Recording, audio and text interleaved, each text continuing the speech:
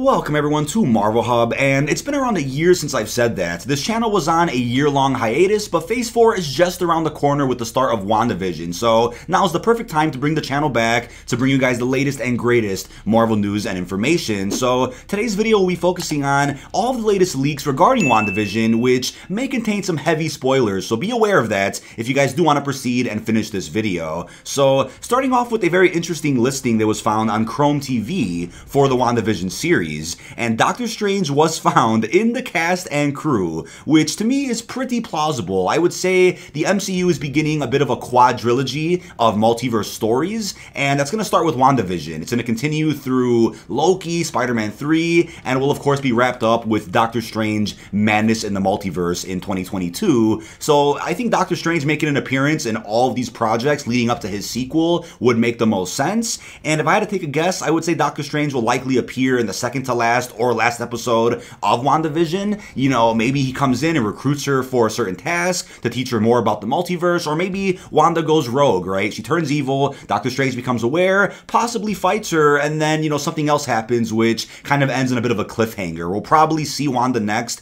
in Doctor Strange 2. If not then, maybe a tease or a glimpse in Loki or Spider-Man 3. Who actually knows? But I think Doctor Strange playing some type of role or even being mentioned in the series would make a lot of sense. Now, we also have information about a potential return of the Quicksilver, so a character that we haven't seen since Avengers Age of Ultron back in, what was that, 2015? We all expected a cameo of sorts in either Infinity War or even Endgame, but that didn't happen. But I would say WandaVision is the perfect time to finally bring his character back, even if he doesn't actually come back to life, but maybe a cameo of sorts, a flashback, or something in her head. Let's just see. But according to an Instagram user known for posting Funko information, an Emerald City Comic Con 2021 Funko exclusive for the Disney Plus series will feature a Funko pack containing both Vision and the Quicksilver. So I'm curious how that would work, and there's of course placeholder art for this two pack with Vision and Quicksilver, but obviously Vision and Quicksilver are probably the two most important people to Wanda, so I think her envisioning them in some sort within the series probably makes a lot of sense,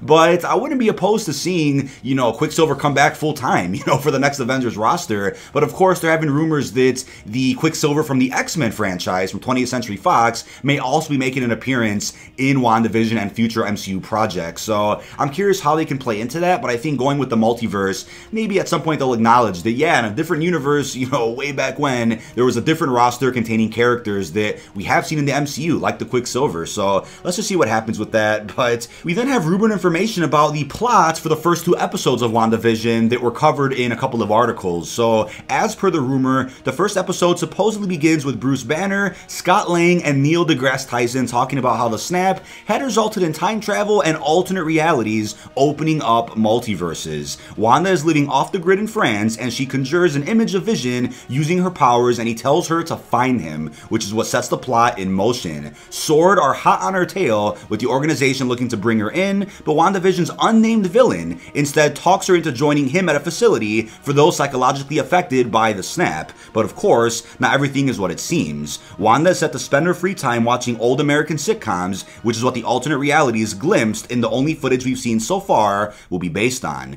Kat Dennings returning Darcy will reportedly be one of the patients at the facility, while Kathryn Hahn's mystery character will also be there, but as a plant working for the bad guy to manipulate Wanda. Interestingly, Vision supposedly won't make many appearances in the first two episodes of the series, which wouldn't really bother me considering the series is probably going to start off a bit slow, dealing with the aftermath of Avengers Endgame, and then it'll probably be episode 3 or 4 when Vision finally makes a reappearance, and then they find a way to potentially keep Vision permanently in the MCU through a different reality, even after the show is over. Maybe since the Mind Stone is destroyed, Wanda could use her own powers to keep him alive, or she'll create a jewel with her powers to sit where the Mind Stone was. Who knows how they'll figure it out, but we do know, based on footage we've seen of the series so far, that we're going to be getting flashbacks to Age of Ultron when Wanda was being held captive along with her brother by Hydra, of course, and when the Mind Stone was being manipulated, which eventually gave Wanda and her brother the powers that they have. So Avengers 2 didn't cover that too much, but I'm sure they could expand on that quite a bit and possibly reveal some secrets that we didn't know before. Now keep in mind the plot details that we just read about the first two episodes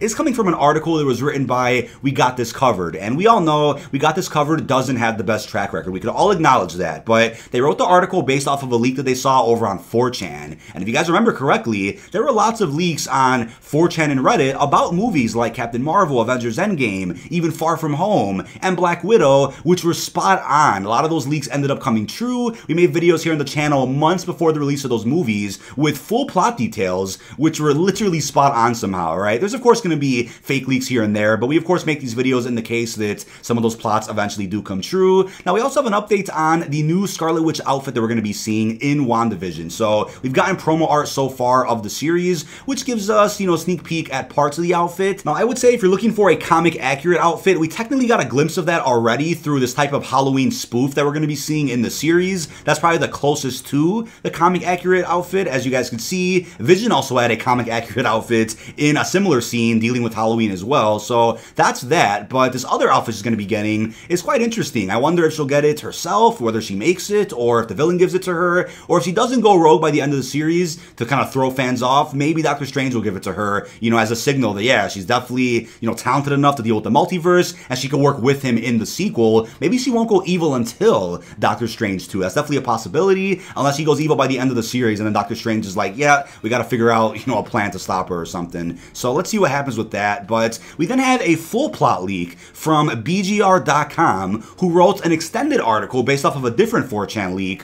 which actually contains similar information to the plot we just read, but it goes in even more detail. So, as it officially says over on 4chan, the main storyline is a doctor who got snapped in Infinity War trying to enter a multiverse reality to be with his dead wife and daughter. Basically, the same thing as Devs.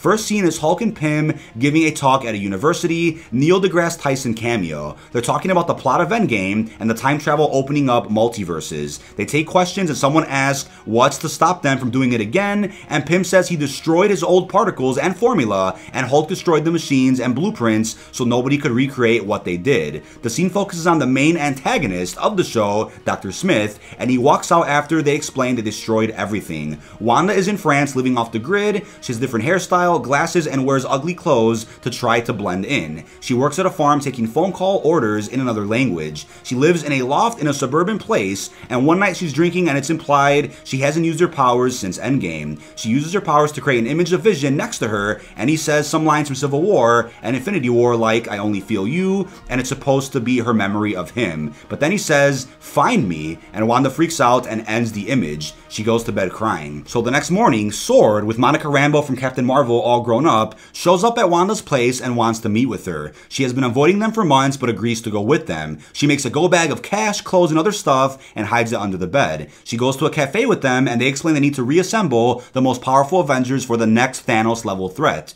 Wanda plays along but tells them she's not ready. They tell her to think about it, but they need her to come to the United States with them soon. She agrees and goes home. While she was out, the doctor from the first scene had snuck into her apartment and stolen her cash. He was following Sword without them even realizing. Wanda goes home and takes the go bag to the train station. She runs onto a train as it's boarding and hides it under the window. When someone comes for her ticket, she tries to give him her cash, but she doesn't have any. Then the doctor hands the ticket taker cash and says he's got her ticket. She thanks him and he sits with her. He says he recognizes her but won't say anything as she clearly doesn't want to be found. They start talking and he tells her he made a facility in the Midwest to support snap and blip victims who couldn't psychologically handle it and he's in Europe meeting with potential patients at a hospital. It's an inpatient facility and people live there, but it's confidential and people can leave when they want. He says he knows she snapped, but she was famous and wants to help her heal. So she agrees and gets off the train with him to his private jet. In the US, he takes her to his facility, which is almost a quarter mile long and looks like an apartment complex.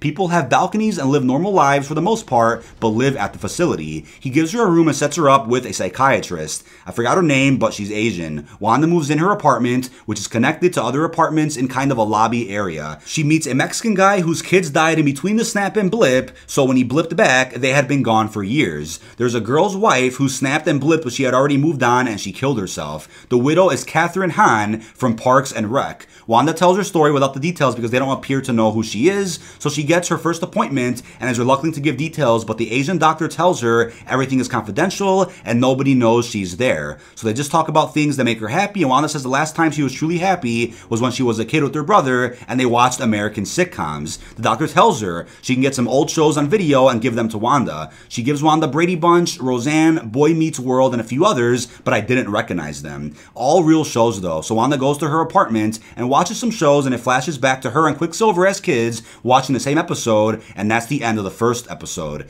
Second episode starts with Dr. Smith driving his car on the highway. Him and his wife are taking their daughter to her dance studio, and he starts to snap. The wife grabs the wheel as he's disappearing and crashes into an oncoming car. Dr. Smith blips back with a bunch of other people on the side of the highway, and everyone is really confused. Normal people start honking at them, and everyone gets out of their cars, and then a title plays. Wanda goes to lunch at a restaurant in the facility and meets Kat Dennings from Thor. She's there because she snapped and blipped, and her boyfriend, the guy from Thor 2 with the camera, got diagnosed with cancer in the five years when she blipped back, he was dying. She tried to find him, but he died a week after the blip, and she couldn't find him until it was too late. So she has had guilt and PTSD like everyone else in the facility. She knows who Wanda is, but tells her she won't tell anyone. Jimmy Woo from Ant Man is looking at security footage of Dr. Smith at a gas station by his private landing strip in the Midwest. Dr. Smith winks at the camera and shoots it with the paintball gun from his truck. Jimmy Woo goes backwards in the video using the license plate and sees it with the landing strip. And he searches Dr. Smith's plane ID number and calls Interpol.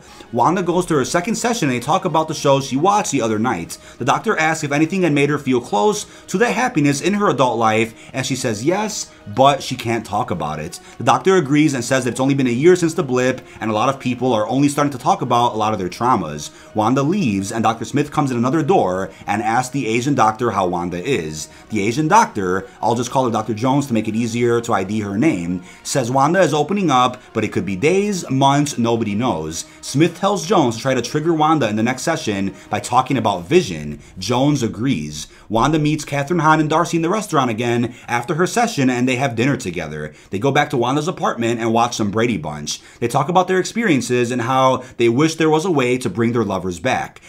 Hahn is a plant, we don't know that yet, and starts to ask Wanda about her boyfriend, but Wanda won't say much. Darcy distracts Kathryn by making lesbian jokes. They all drink and then leave for the night, and Wanda goes to bed. Another flashback, and Dr. Smith is at his old house right after the blip. People are still freaking out and celebrating, and he knocks on the door, and it's another family. They say they got the house from the bank during the bad times because the whole family snapped. Dr. Smith couldn't find his wife at the highway, so he goes to the library and uses their computer to search for her and his daughter and finds out they died in the car accident. He breaks down the library crying. He goes to the university he used to work at, and they celebrate seeing him and a few other colleagues. They talk about the hospital that is housing people in the Midwest for people with snap related PTSD and that he should transfer there. Dr. Jones and Wanda have another session, and Wanda says she finished all the Brady Bunch and other sitcoms, which brought back a lot of memories. Dr. Jones talks about how Wanda is fitting in, and Wanda talks about the girls she made friends with. Dr. Jones is happy and tells her to pursue friendships,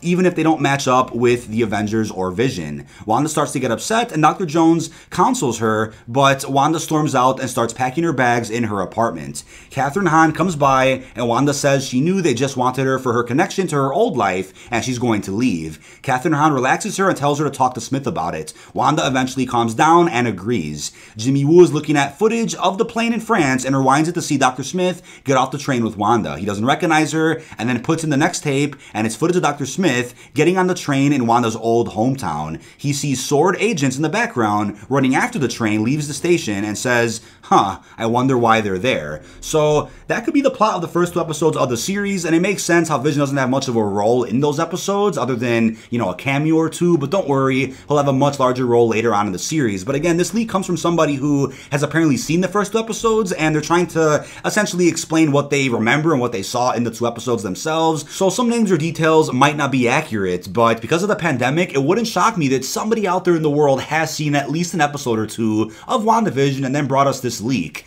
You know, this does sound very plausible for a plot of episodes 1 and 2. Like I said earlier in the video, it wouldn't shock me if the series does start off a bit slow, dealing with the aftermath of Avengers Endgame and how Wanda's feeling before going deep into the multiverse in like episode 3 or 4. But if none of this is correct, just imagine taking the time out of your day to write something so in depth that just isn't accurate whatsoever.